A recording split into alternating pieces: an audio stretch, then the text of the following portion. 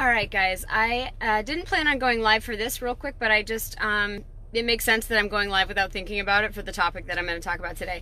So, if you've been in any of my digital courses or um, any of my live trainings, or if you've been a client of mine or are a client of mine, you know how um, excellent the strategies I have are at like getting time management taken care of, right? So um, I'm big on time management. I'm big on um, Seren. What's up, girl? I'm big on um, making a plan that works, that works for you. And like, not everybody operates on the same level. Not everybody appreciates the same style and the same flow uh, for their work and productivity. But there's always a way to tweak it for you. That being said, I want to talk about um, procrastination and they you know obviously they're tightly tied right and so a lot of times i'll give my clients um, the right boundary techniques tools and training so that they can have procrastination eliminated from their scenario of not getting stuff done but I'm I'm big on although I'm big on a plan that makes sense to me because I get I get scatterbrained and I need to have like I need to have things that work. I need to um I need to have, uh, I need to know what's coming next because it helps me like calm my mind down. But at the same time, and there are lots of mechanisms I use to make to keep me right on track with everything. Um, I, I, have support, I have help, I have tech, I have um, I have uh, automation. But when the mood strikes you to do something, I'm going to turn my heat off a little. It's getting a little bit dry in here. Dry eyes. Okay, so when you when you have an, an idea to do something and you're like, oh yeah, I should do that. I'm going to remember to do that. If you ever get that feeling, that's the time to do it right now. Like if you're ever like, oh, I should text that person and let them know XYZ, do it right now. Do it now. You'll forget. Um, I know sometimes people get in the car and they're like, oh, that's a really, really good idea. I've pulled over to the side of the road and written my good idea in my phone in a note section or voice texted myself or like any of that like to capture it right? Because things are going on really really quickly um in our minds in our days in our businesses.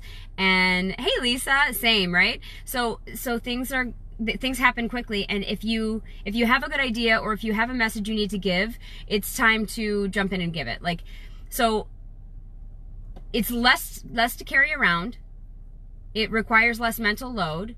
It makes you feel more productive because you are being more productive, and it gives you a it gives you like a positive hit, like you get like some serotonin hit, right, and uh, a little bit of endorphin when you get something done. So, uh, I I literally just pulled to the side of the road a minute ago and sent a text message to a client that was she's a, a potential client. She wants to work with me for coaching, and I sent her a message because I'm like I'm gonna do this now I will forget, and that's important to me. I know she was struggling, and I want to reach out to her.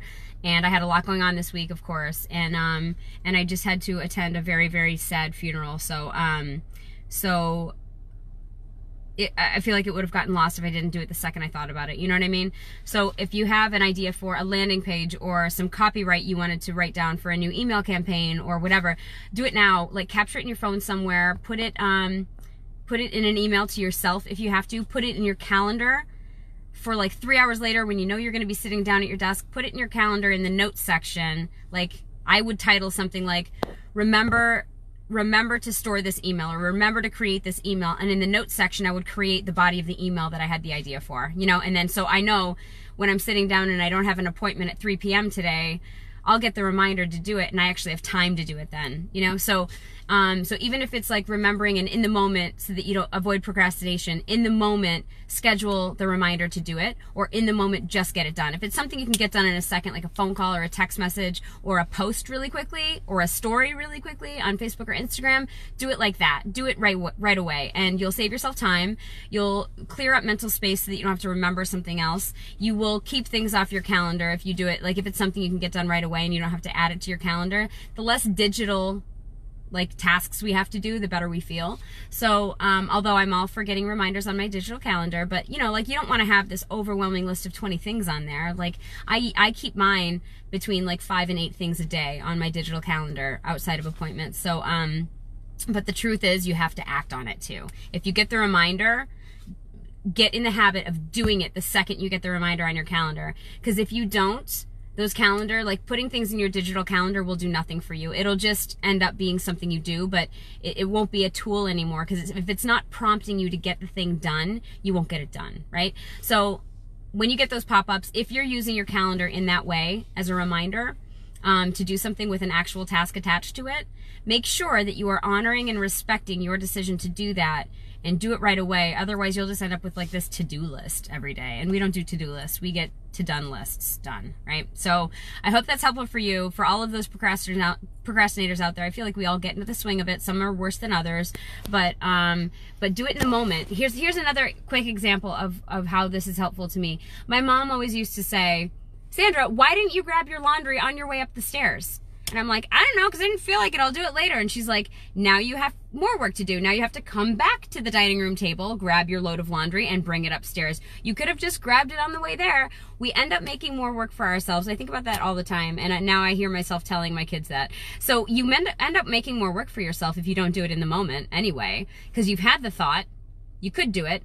Instead, you'll have the thought, you don't do it, now you have anxiety about it. Now you have to take up that bait, that, uh, that data space, like those, that memory data byte in your head in order to keep it before you get it done. It's more work. It's more mental work. It's more work for time. It's more everything. So just get it done on your way. Think about it like that. My example with the, um, with the laundry on the table or, um, or if we when we lived in a house that had like we had three stories. Um, when i lived in high school we lived in an old victorian. And so my mom would put our stuff if she found stuff throughout the house that was ours she'd put it at the bottom of the stairs like take it up with you. Like that was i mean my dad did not let clutter sit. So like you had to take your stuff up with you. But i would like leave it there. I'd take like three trips upstairs and just not take it with me. And my mom would be like take it up with you.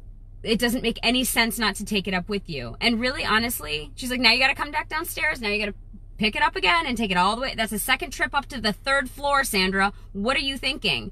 And really, my only excuse was I didn't want to bend down and pick it up. Well, you have to eventually bend down and pick it up, Sandra. So why don't you just pick it up the first time so that A, you don't get yelled at, B, you don't get annoyed and stressed out, and C, I'm doing A, A, B, and C. We get that, right? Okay. Okay. I'm tired. So, um, and C, we I have to go back and do it anyway. Now I've just made more work for myself. So avoid making more work for yourself. Um, attack the thing that you think about. It'll feel better. It'll give you more clarity in your mind, free up mental space, and you'll be a productive person. You start stacking these habits, and that's how productivity starts rolling. You started getting addicted to the productivity that you do. So, hope that's helpful for you guys today. I have to go into work. The big R is calling me. Do you see it? I'm about to start a revolution, ladies. All right, guys, go kill your day.